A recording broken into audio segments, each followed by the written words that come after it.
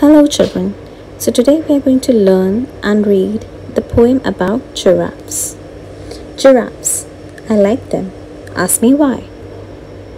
Because they hold their heads up high, because their necks stretch to the sky, because they are quite calm and shy, because they run so fast they fly, because their eyes are velvet brown, because their coats are spotted tan because they eat the top of trees because their legs have knobby knees.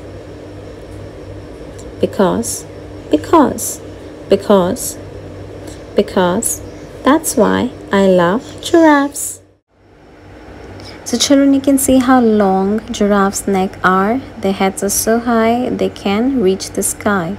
They are quite calm and very shy animals you can see how the baby giraffe is running yes. So they run so fast as if they can fly. So they can they cannot fly but they run so fast as if they are flying. They have beautiful brown eyes.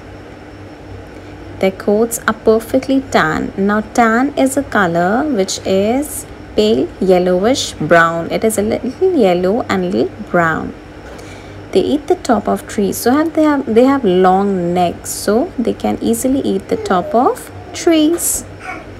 They have knobby knees. Now knobby means bony. You can see the bone structure in their legs. Yes? And that's why we love giraffes. Thank you